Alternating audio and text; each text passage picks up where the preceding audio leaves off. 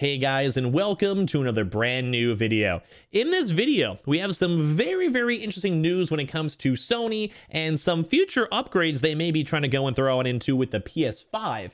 Now, I usually love making these types of videos because it's very cool to kind of go and see the beginning stages of the next upcoming either PSVRs or other different types of upgrades, whether it comes to the actual PS5 network or for the controllers. And we can kind of usually go and see a lot of this stuff when it comes to Sony because we have a chance to look at all their patents because it's all legal and every idea and thing they try to go and copyright we actually get to go and see publicly. And we've done a few of these videos before, and I think they usually do pretty well. So always leave a comment down below if you guys like to go and see these more in the future, because I always love these, and it's always kind of fun to go and talk about and speculation-wise and whatever. But for this one, we're going to be talking about more of a very specific one when it comes to the video games and spe like specializations when it comes to the PlayStation 5.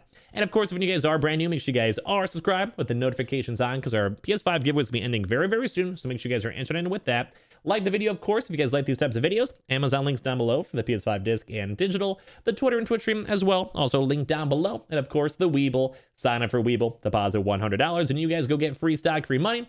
Coinbase, you guys go buy $100 worth of any cryptocurrency. You guys go and get free Bitcoin. Was always linked down below. Without further ado, let's go dive in the video itself and definitely leave a comment down below with all of your thoughts. So, as I mentioned, we're going to be talking a little bit more on the Sony patent side. And this one's a very intriguing one because this one's going to be more so specifically on dynamic audio and also how they're going to maybe want to go and change the audio. Now, you guys might first, on your first impressions, be like, that doesn't seem that cool. That seems kind of lame. Hear what they patent because this is actually very unique and this could be probably one of the coolest updates we could ever go and see if it actually comes to fruition and they actually make it happen. So, we have a patent article over here from OP Attack basically stating Sony patent describes ways to dynamically modify audio and sound in video games. So developers and engineers in video games are always busy uh, in finding dynamic solutions of different aspects. Dynamic graphics adjustments, difficulty adjustments, and dynamic weather changes are just a few example of these. Although dynamic sound changes is also a very good example, which is basically what Sony's trying to go work on and patent on over here. However, we haven't seen a wide implementation of dynamic audio playback modifications in video games yet. So, uh, they're going to talk about it in a second in the article, but basically, this is if a certain situation is happening, a certain song plays. If a certain, like say maybe your lower HP in a certain area, then the actual audio is going to change. We've seen like very small amounts of that in the very basic sense in that example I just told you. So maybe like, you know, the audio is very maybe slightly lower or more scary, but this is kind of a similar idea or, but instead of it just being like on a set, just low HP, maybe like you're in a quest and like you haven't done like one quest to save your mom, just really random examples. So that maybe like your character is still heartbroken when they see their dad or sister, but maybe you've already saved like an entire town that's in danger. So when you go and see a random orphan girl, it's happy music because the town's safe. But if maybe in that game you did not already save and everyone's like, you know, still in danger, then maybe the music's more like cautious and nervous. So basically just imagine like a very more immersive experience when it comes to music. And this is something I think that video games are somewhat lacking. And I always, at least in my opinion, leave your your thoughts down below.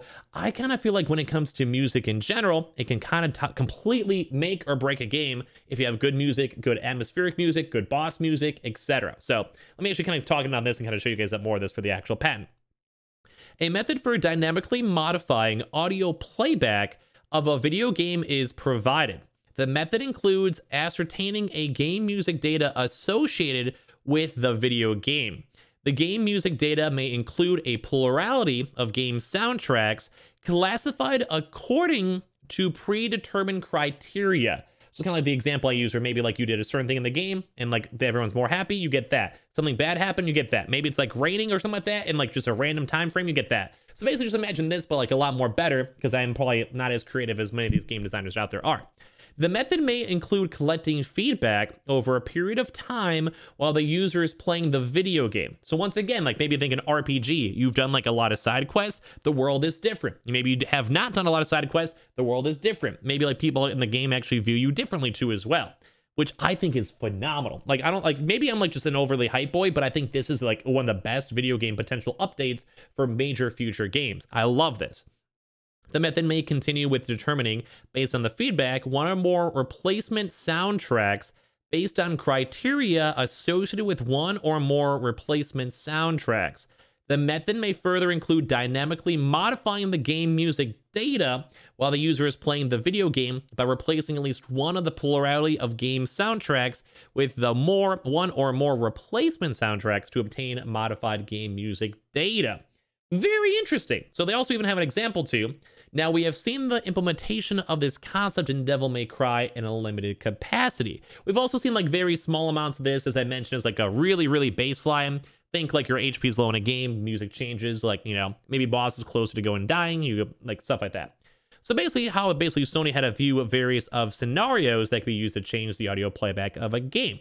We were talking about changing the entire soundtracks here in real time. So basically, they would ascertain the game music data associated with the video game, the game music data, including a plurality of game soundtracks classified according to the predetermined criteria. So then you go and get feedback while the person's literally playing the game and like, you know, experiencing the game or whatever. Based on the feedback, determine one or more replacement soundtracks based on the criteria associated with one or more replacement soundtracks. As well, this also could maybe just be like if you're like listening to a car radio and say like GTA, and then maybe you always like prefer like electronic soundtrack. So maybe the game itself would maybe go in more focus on that too as well. Like there's always there's a lot of potentials with this. And then you dynamically modify the game music data while the user is playing the video game by replacing at least one of the plurality of the game soundtracks with one or more of the replacement soundtracks obtained modified game music data. This is kind of like kind of a lot of just repeat stuff. You guys know what I mean. So basically, like they're trying their best to go and find like a proper indicator or like identifier to make this happen. So basically, as I mentioned, if you're doing something in the game, you, you accomplish something, or like you've done certain things that other people haven't done, it can maybe go relate back to that. Naturally, the primary anchor behind these dynamic adjustment will be user feedback. The user will be able to provide feedback in different ways, and based on that feedback, the soundtracks will adjust dynamically. So it's once again maybe how I maybe did more of the GTA example, where maybe you just like prefer more like an electronic station, kind of like how I said. Now, if you're wondering that if a game has multiple soundtracks, it might not be feasible for many games as it might increase the size of the game, the patent describes that the system can allow use of tracks and sounds from the libraries at external storage uses. So it's even more even next level, or maybe you have like a Sony game, like think maybe Ratchet and Clank, and then there'd be really good music from Returnal, like a really kind of creepy ambient world. So maybe if the game would technically think that that's better, or more so maybe you even prefer that based on your previous options, then maybe that music just from your uh, uh, hard drive can literally end up in the game. Now, that might be harder for some certain games to imagine, but if you're Sony, maybe that just makes it a lot easier for using the really good sound tracks and sound effects that they've done in their previous games and then have just an overall massive catalog of like 50 really hype boss music just from various games whenever you think would be like fit the time. So it also may go make every gaming experience even different because you may even have a different soundtrack from a different boss or a different soundtrack for like a chill area or like a different soundtrack for a town.